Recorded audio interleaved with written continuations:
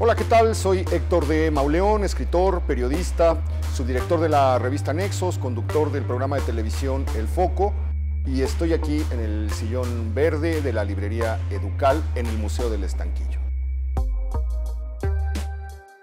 Todo comienza como ha, comenzado con todos, eh, con un niño en una casa en la que hay libros, un niño que pasa muchas horas solo, y que encuentra en los libros, que van abriendo ventanas hacia universos inimaginables, hacia mundos que uno no sospechaba, eh, ventanas que rompen las rejas del claustro eh, de la casa familiar y de la soledad para crear una vida sin límites. El hecho de frecuentar autores, de dejar que te hablen los muertos, eh, libros sancionados por los siglos, mundos eh, eh, absolutamente desconocidos, pero, pero sobre todo contados de una manera particular por los grandes maestros. Te dan una serie de argucias, como diría Borges, una serie de mecanismos que te van a ayudar a contar lo que quieres expresar. Pues son libros que me resultan entrañables, los tomé siguiendo solamente ese dictado y ningún otro, sin ningún otro fin o ninguna otra aspiración intelectual es solamente libros que me marcaron, que me han acompañado.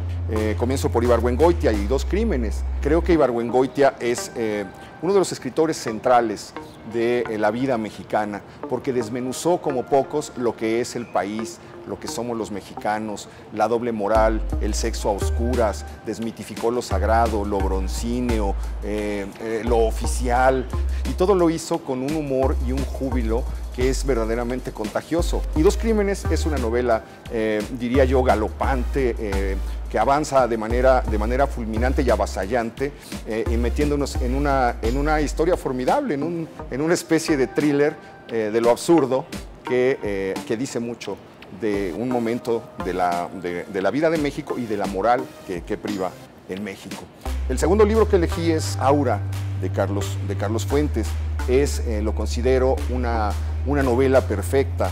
Eh, es un libro de 1962, es un libro que Carlos Fuentes publica después del éxito que ha tenido La región más transparente. Y lo siguiente que hace es entregarnos, en cambio, un relato muy breve, un relato muy íntimo, en el que eh, aparece la mejor descripción que conozco de lo que es el centro de la ciudad. Y en mi caso particular, me abrió de algún modo los misterios que habitan en el, en el, centro, en el centro histórico. El tercer libro que he elegido es Las batallas en el desierto de José Emilio Pacheco, una novela breve también y magistral. Comienza a llevarnos a, un mundo, a un momento de la Ciudad de México en los años 40 que ha desaparecido por completo. Un mundo en el que se veían los volcanes, en el que había ríos, en el que la colonia Roma ya era tan misteriosa como en la actualidad y en medio de ese escenario la historia de un niño que se enamora de una mujer y descubre que el amor es una enfermedad en un mundo donde lo único natural es el odio. Bueno, y como parte de esta experiencia de leer en el sillón verde de la librería Ducal,